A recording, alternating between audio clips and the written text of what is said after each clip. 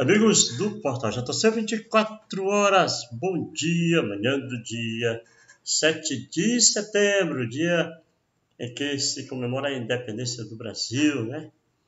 A gente dá para você perceber que a gente permanece aqui em Teresina. Nosso compromisso, na verdade, encerrou ontem. Mas existe uma expressão muito equivocada quando alguém está trabalhando muito, as pessoas falam do trabalho e dizem assim: não, quais são os ossos do ofício? Como que diz assim, são as consequências dos deveres. Mas na realidade essa expressão é equivocada. A expressão correta é, são os ócios do ofício, né? aquele momento que você desfruta do descanso do trabalho. Então eu aproveitei de ontem para hoje para desfrutar dos ócios do ofício, apesar de continuar trabalhando. Ontem nós, nós conversamos com um advogado é, Jairo Lima, por sinal, um excelente advogado, ele falando que foi procurado pela família do Eric Coringa para recorrer em relação ao resultado do julgamento do Anderson Angel, que foi absolvido. É bom que nessa, nessa nova fase, que é uma reviravolta, que começa tudo de novo, a gente não passe a procurar culpados. Tipo assim, deixa eu explicar.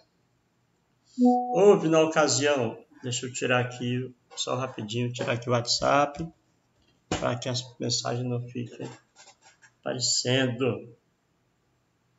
Eu, eu, sempre faço isso, mas a memória é, é traidora, a memória é falha, e a minha não seria diferente. Tirar, quem quiser mandar mensagem, pode ficar à vontade que tá, não vai aparecer aqui na tela. Foi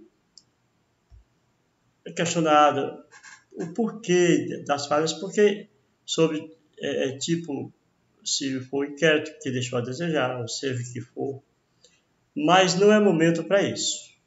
Não é momento para isso. Primeiro que os profissionais da Polícia Civil de Floriano são extremamente diligentes, tanto que de três julgamentos, né, apenas um deu absolvição. O que é, fica é, o, o, questionamento é porque o, o, advogado sempre era categórico em dizer que não, ele, não, ele, ele só desafiava que, que provassem a autoria. É, eu não me lembro sequer dele ter garantido a inocência. Ele, ele apenas exigiu que provassem. Eu até fiz uma comparação, me perdoe aqui. A comparação pode ser meio absurda, mas é, é necessária para exemplificar o meu pensamento. É como se tivessem duas pessoas dentro de um elevador e saísse aquele odor desagradável, né? a chamada flatulência. Como só tem duas pessoas, os dois sabem quem foi, mas nenhum prova. Então, mais ou menos uma situação desse tipo. Quer dizer, para o juiz, para o corpo do jurado, para o julgamento, é necessário mais do que a certeza. Tem que ter a prova. Porque é algo muito sério. Julgar uma pessoa é seríssimo. E mais sério ainda é saber que alguém foi assassinado e que ninguém foi punido. Ninguém foi punido. Claro que eu sempre disse o seguinte: é melhor um autor de crime solto do que um inocente preso. Isso essa é uma máxima minha desde o início da minha atividade profissional no Estado.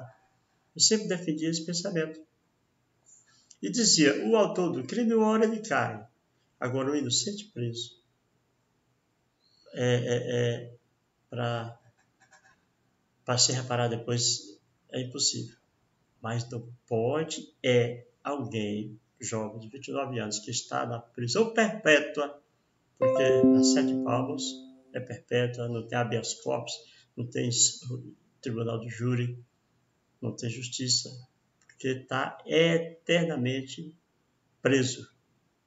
No caso do Eric, não, não é correto que uma morte nesse, desse tipo, um tiro nas costas, não fique ninguém impune.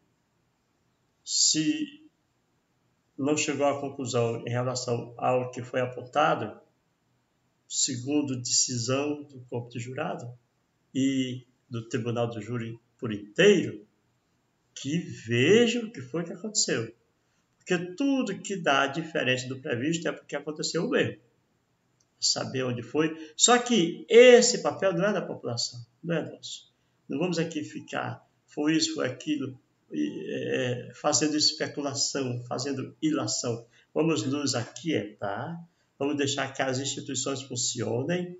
Tem à frente um, um advogado que é uma referência, o doutor Jairo, conheço já de longas datas, já tive a oportunidade de entrevistar por diversas vezes e sei do seu potencial. Então, é deixar andar, evitar ilações que aumentam ainda mais o sofrimento das pessoas, das duas famílias, é claro, e aguardar o resultado dessa, dessa ação de, de recorrer do, do resultado, certo?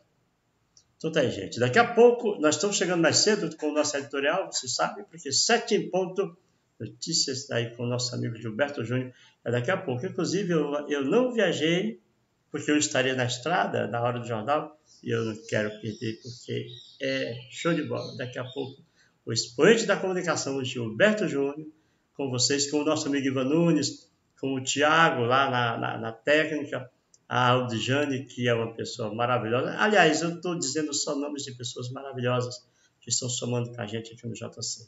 Do jeito que você aí quer assistir, eu também quero, e ficarem aqui em Teresina. Terminou o jornal, tiro para a Princesa do Sul. Muito obrigado a cada um de vocês. Que Deus abençoe a todos nós. Portal JC, 24 horas, como sempre.